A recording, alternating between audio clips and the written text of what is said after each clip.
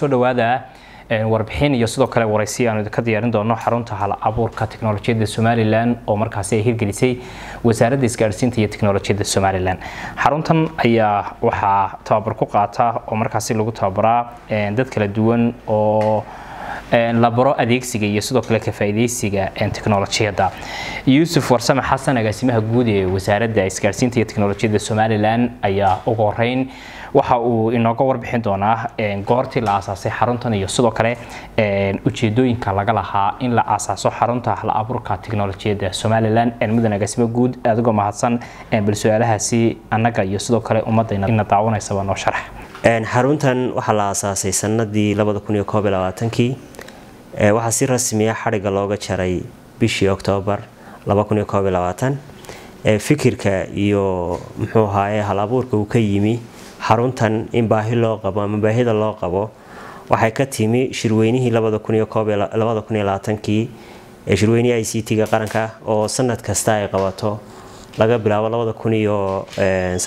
kii iyo ilaa iyo hadda si joogta ay u qabato shirweynahaasoo sanad walba ay ka soo baxaan qodobo muxuu ahaaye wax ku oola oo wax weyn ka midha dhala i c t-ga ama tiknolojiyadda qaranka taa iyadoo laga duulayo waxaa sanadkaa qodobadii shirka ka soo baxay ka mid ahaa ama ugu waaweynaa in la abuuro xarun hal abuur oo qaranku leeyahay.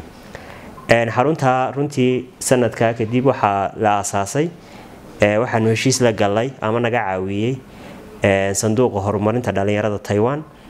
Kaasoon aada uga mahad celinayno runtii oo qeyb lixaadle ka qaatay kaasoo heshiiskiisa la seexeexay bishii saddexaad fulintiisa ama dhammaystirkiisuna uu dhacay bishii oktoobar wixii intaa ka dambeeyey xaruntu waxay noqotay xarun shaqaysa oo muxuu ahaay faa-iidooyin badan qaranka ugu taagan.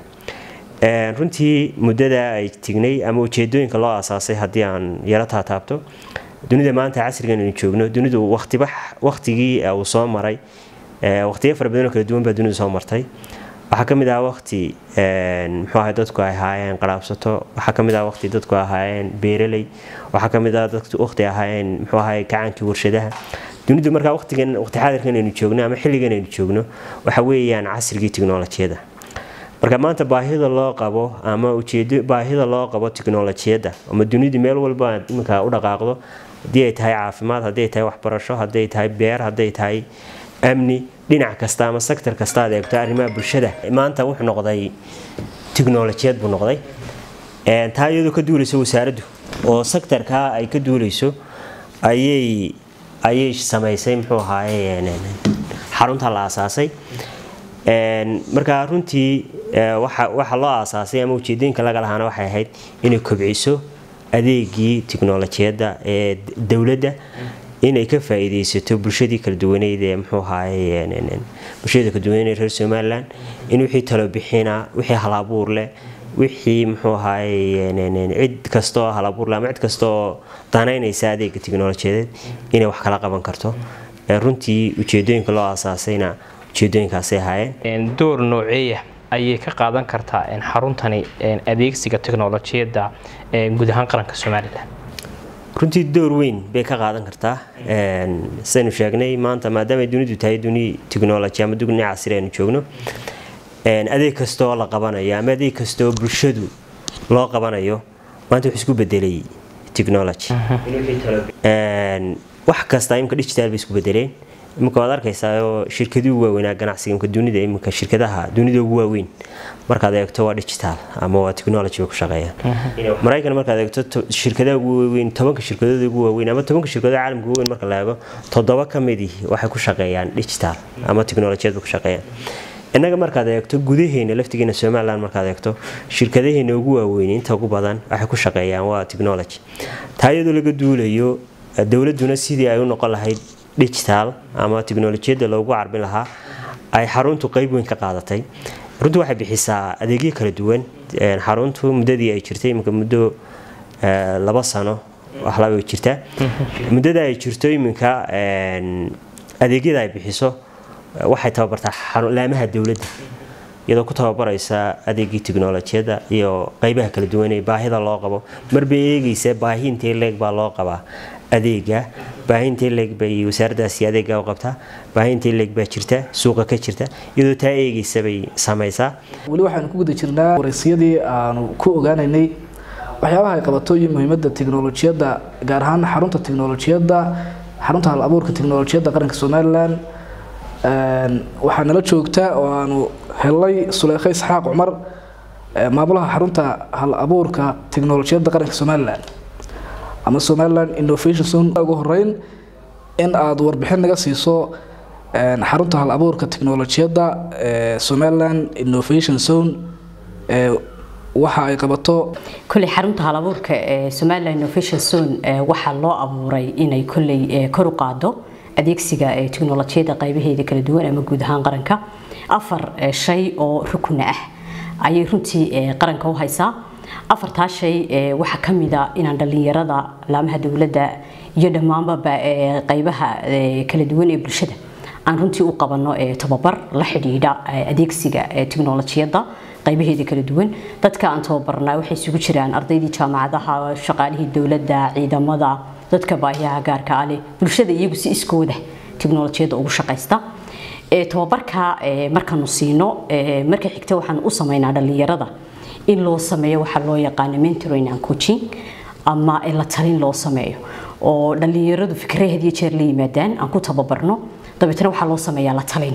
In la talin loo sameeyo oo lagala taliyo fikradii u yimaadeen la yimaadeen sidii ay runtii ay u hana qaadi lahaayeen la talintaa markaanu u sameyno dhallinyarada qaar baa waxay la yimaadaan runtii fikrado wax ku oola oo haddii ay hana qaadaan naftooda iyo taqarankaba runtii wax taraya dhallinyarada kuwaasoo kale markaa aanu ka helno waanu ka soo dhex saarnayo waxaanu siinaa xafiisyo qalabaysan runtii internetkii iyo kiradii iyo wixii o dhan laga kafaalo qaaday. Si ay bal aragtida ay la yimaadeen ku tababarnay ay meel loo gaadhsiin karo. Oo runtii waxaa la arkaa dhallinyaradu markay fikir iyo aragti hayaan inayna tay ka tallaabo qaadi karin ay tahay aasaaska hore. Ciddii u dhaafin lahayd. Marka adeega labaadaynu qabana waa ina dhallinyarada halabuurka la yimaada. Aanu runtii ka saarno. Dalcadda runtii u horeysa ee aanay income fiican aanay walaal u haysanin. Intaa markaanu samayno waxaa kaloo walaal noogu jira maalgelin wax la yidhaha inaan u samayno. Marka ay muxuu ahaye dhammaystaan la talinta iyo tababarka iyo waxaa inay dibadda u bixi karaan at laga caawiyo. Wixii ay dibadda ula bixi lahaayeen ee ganacsigooda ay ama fikirkooda ay ku sii horumarin lahaayeen. Intaa waxaa dheer wacyigelino ee xagga tiknolojiyadda waxaad sheegtay in ay jiraan dhalinyaro badan oo idinla yimi fikrado dhinaca tiknolojiyadda ah kuwaasoo ama aad maalgeliseen ama aad la taliseen ama aad siyaabo kaleba uga taageerteen mid iyo laba maxaad nooga sheegi kartaa sistamada ama ama barnaamijyada teknolojiyadda ah ee cajiibka ah ee dalka wax u soo kordhinaya ee ay dhallinyaradaasi idinla yimaadeen ee aad wax kala qabateen. Maxamedow waxa walaal ka mid ah ee dhallinyarada qaar baa waxay noola yimaadeen jibis yar aan idhaahdo walxo kuwan lagu sameeyo adduunku iminka adeegsada ah. Qalabada yare teknolojiyadda lagu sameeyo. Ayuu wiilkaasi wuxuu sameynayay inuu dadka aragga naafada ka ah. U sameeyo qalab ay mitris ka sheegi kara qofku intuu u dhow yahay. Oo runtii markii hore fikirka haystay laakiin la talin badan iyo wax badan barnaamijkii uu hirgelayo laakiin ay ka dhiman yihiin in si markaa dee official loo soo saaro. Waa mid ka mid waxyaabihi ay la yimaadeen wiil kale wuxuu la yimid barnaamijyo ka waramaya climate changeska somaliland ka dhacaya maxaa kuley abs baynu isticmaalaa dalal kale leeyihiin laakiin wiilkaasi wuxuu sameeyey abs somaliland maxaa roob ku soo foolle madaadad intee leeg baa rogman dabayle intee leeg baa soo socda. Yacni barnaamij uu arday jaamacad ku jira. Sameeyey oo maanta adeegsan karto wasaaradii cimilada oo ay si buuxda u adeegsan karto. Maanta cidna aan la odhanaynin ama outdate ama iibso ama gadaba walaal kamida oo sheegaya cimiladii iyo wixii oo dhan. Oo roob intee leeg baa da'aya. Maxaa ku soo fool? Waxaasoo dhan buu barnaamijkaasi ka hadlaya climate changeka. Uu sanad saadaalinaya yacni maalin kasta cimilada somaliland noocay tahay kaasaa kamida ciidamada kamida walaal. Oo adduunka maanta halkuu isku eriyanayo ay tiknolojiyadii ciidankii noqotay. Ciidamo badan baanu halkan ku tababarnay. Si gaara iyaga waxaan ugu tababarnaa ilaalinta xogta iyo isku gudbinta. Oo had iyo jeer ciidanku waxaa la arkaa inay sensitive data ay noo hayaan. Bulshadana runtii aan mararka qaar lala wadaagayni. Laakiin waxaa laga yaabaa inayna ciidamadii aqoon u lahayn dee u adeegsanayeen de teknolojiyadii. Marka waxyaabaan iyaga ku tarayn waxaa ka mid a inay manage garayn karaan shabakadaha ay isticmaalayaan iyo habka ay u isticmaalayaan iyo qalabkan teknolojiyada ay adeegsanayaan taasoo runtii wax weyn ka tartay oo muxuu ahaay waan idinla wadaagi doonaa wiil ka mid a ciidamada immigrationka. Oo runtii iyagu iskaga gudbaa wadanka xuduudihiisa. Ay runtii soo bandhigeen barnaamij software ah oo ay iskula hadlayaan beriga somalilan ilaa galbeedka. Koonfur iyo waqooyi. Intooda joogta ay shabakada ku wada xidhiidhay waxaan dareensanahay in dalka taiwan. Uu wax badan dhinaca teknolojiyada kala qabtay wasaaradda iyo xaruntaba. Iyaga waxtarkoodu intuu leegyahay intee leeg bayna la qabtay ilaa hadda walaal dowladda runtii wadankeenu uu wada shaqaynta la leeyahay. Waxaan odhan karaa ta ugu weyni waa ta hirgelinta xaruntan. Runtii xaruntan aad arkaysaan san u qalabaysane laababka lehe ay dadka expertiska joogaan runtii iyadaa kaalin aad u muhiima ee ka qaadatay hirgelinteeda. Waxaa laakiin howle ee socodsiinta iyo howlaha sii wadidooda laftarkeeda qayb nagala jiraan. Inta ugu badan inkastoo handal wasaaradda isgaarsiinta iyo teknolojiyadda. Marka waxaan odhan karaa dowladda taiwan hirgelinta xaruntan. Runtii waxay ku lahayd rool muhiim ah. Runtii arkaysaan siday u qalabaysan tahay